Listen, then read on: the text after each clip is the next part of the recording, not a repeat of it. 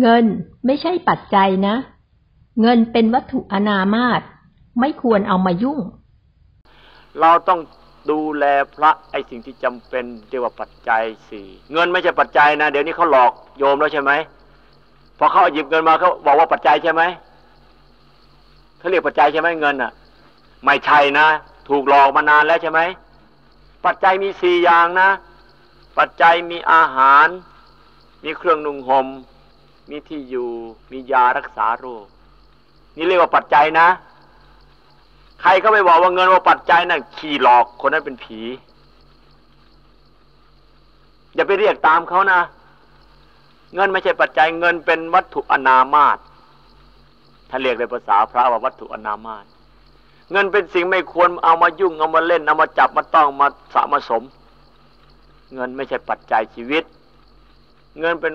ตัวร้ายแหมร้ายจริง ๆ มันฆ่ามันแกงกัน มันมีฤทธิ์มาก มันมันพาให้เลวมากนี่สุดไอ้ตัวเงินเนี่ยอย่าไปเข้าใจว่าเป็นปัจจัยนะ ไม่ใช่ปัจจัย ถ้าเงินเป็นปัจจัยแล้วพวกอาตมานี่ตายนานแล้ว เพราะขาดปัจจัย เพราะอาตมาไม่มีเงินกัน ปัจจัยนี่เป็นของจำเป็นในชีวิตใช่ไหม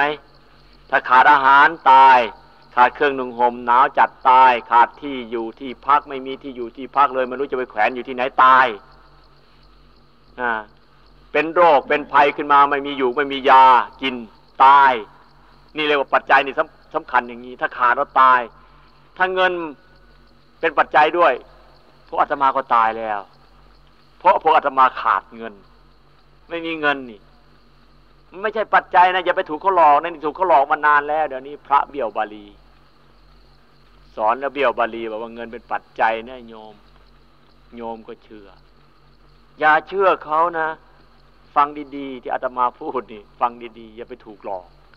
พระท่านไม่สะสมเงินหรอก ไม่สะสมหรอก ไม่ใช่ปัจจัย ปัจจัยสี่มีบริขารมีเครื่องประกอบนิดหน่อย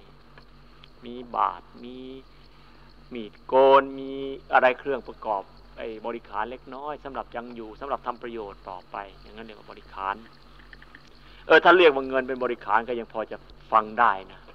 เรียกว่าปัจจัยนี่เบี้ยวบาลีกันถนัดใจเลยนะเบี้ยวยังหนักเลย ถ้าเรียกเงินเป็นบริขารเป็นเครื่อง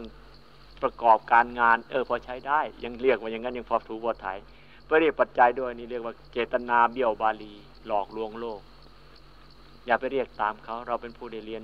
ธรรมะเข้าใจจริง แล้วก็ทำความเข้าใจให้ชัดเจน